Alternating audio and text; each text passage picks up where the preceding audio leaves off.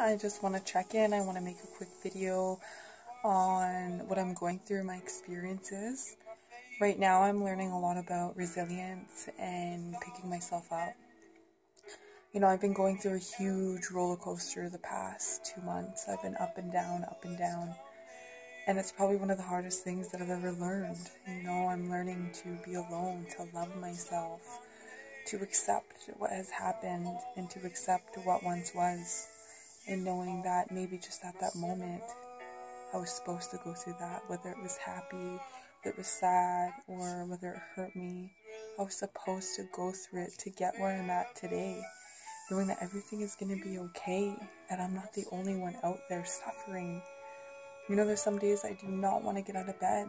There's some days that I don't want to talk to anybody, you know, but then I remember that maybe that one person in my connection with them and their connection with me can change it all around, whether it be a friend or a coworker or somebody on the street that just smiles at me that maybe just at that moment everything will turn all around that hope will be given to me again. And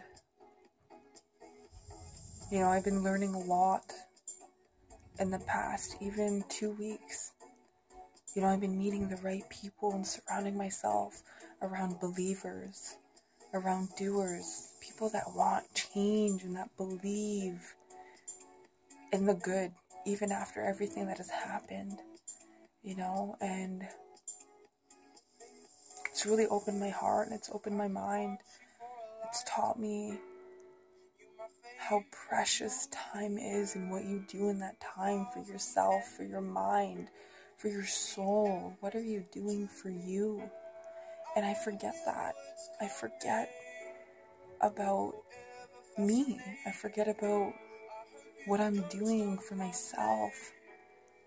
And that I forget to to love myself, knowing that I am worthy. I deserve nothing but the best. And the only person that's going to love me fully and be there is myself the person looking back at me in my own reflection is the only person that's ever going to make me proud. Where I'm going to stand with my head held high. You know, sometimes that almost kills me knowing that that's how much power that I have. But it's almost a blessing in disguise as well. And that I do need to start surrounding myself with the ones that believe in me when I don't believe in myself. You know, there are times where I want to give up, but I don't.